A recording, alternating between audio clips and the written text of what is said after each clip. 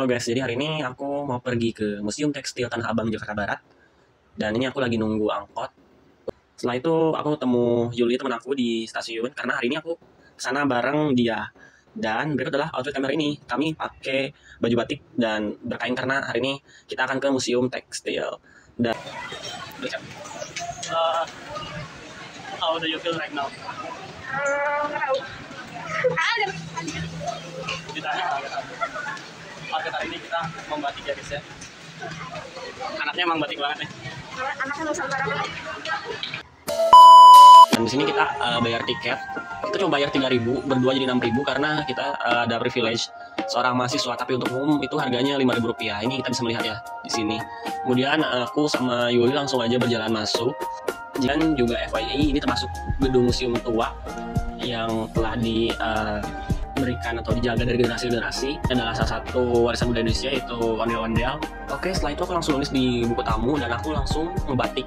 Di sini aku lagi milih-milih desain yang aku akan pilih untuk ngebatik. FYI di sini pengunjungnya nggak hanya dari penduduk lokal tapi juga dari berbagai negara. Contohnya di sini aku kebetulan barengan sama pengunjung dari Jepang. Mereka satu keluarga pergi mengunjungi museum ini. Aku udah nemu desain batik yang aku mau dan aku langsung um, menusukkan paniti jarum maksudku jarum dan langsung menggambar ini aku uh, sebenarnya bukan menggambar sih lebih ke tracing tracing tuh uh, teknik ciplak seperti itu dan ini aku uh, bikin batiknya bareng-bareng sama Yuli btw karena um, menurut aku lebih asik itu kalau misalnya bikin batiknya berdua CapCut.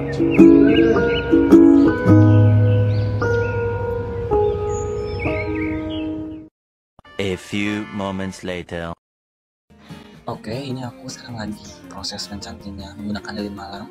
Prosesnya yaitu kita mencelupkan alat canting ke lilin malam, kemudian mengikuti garis tracing yang sudah dilakukan sebelumnya.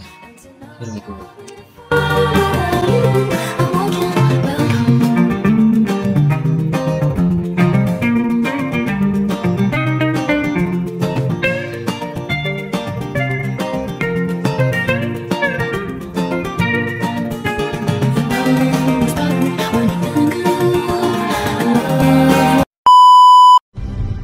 Lover.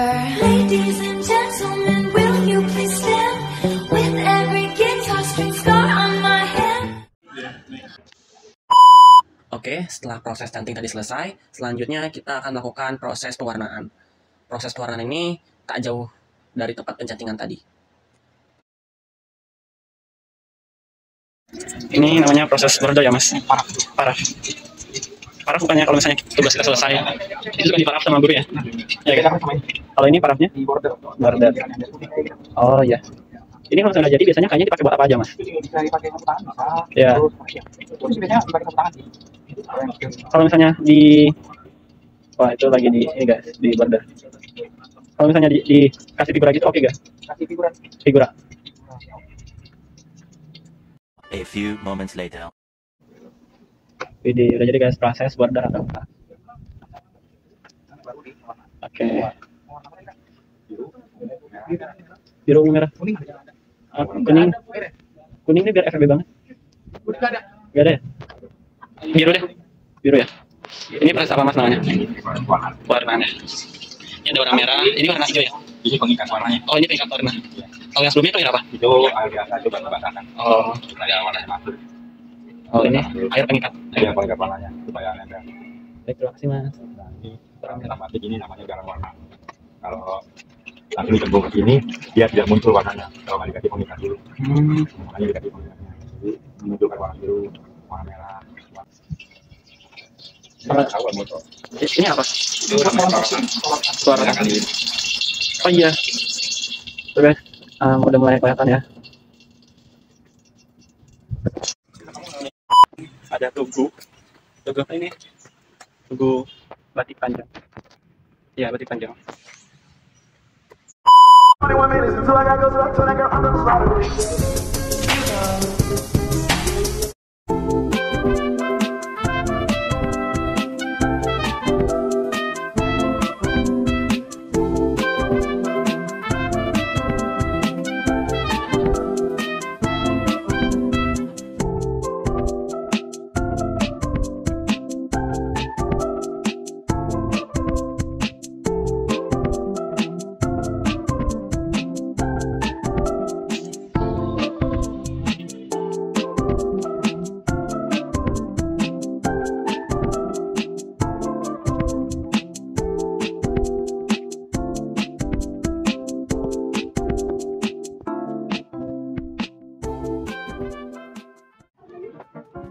Let's go.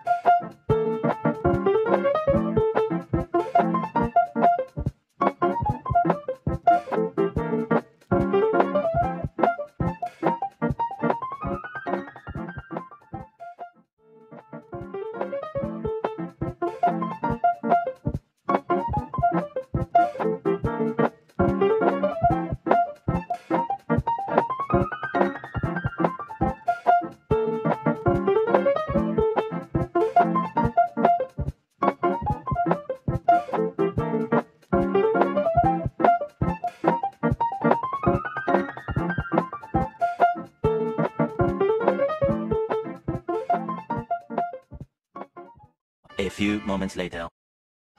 Oke guys, akhirnya yang ditunggu-tunggu selesai juga, yaitu proses pengeringan. Setelah kita keliling lama-lama ke ruangan merchandise, ke ruangan pembuatan batik, dan lain-lain, akhirnya selesai juga di proses pengeringan.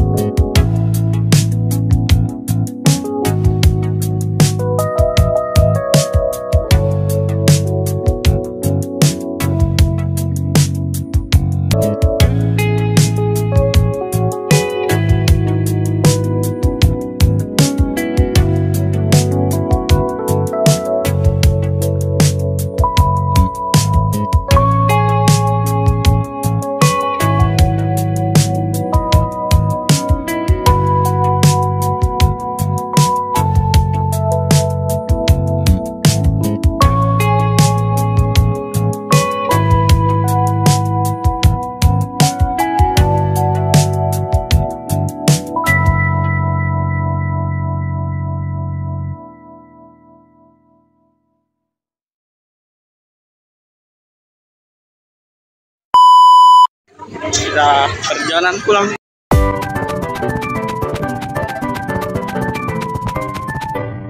Akhirnya kegiatan kami selesai dan kita harus berpisah di session Tanah Abang. Thank you guys.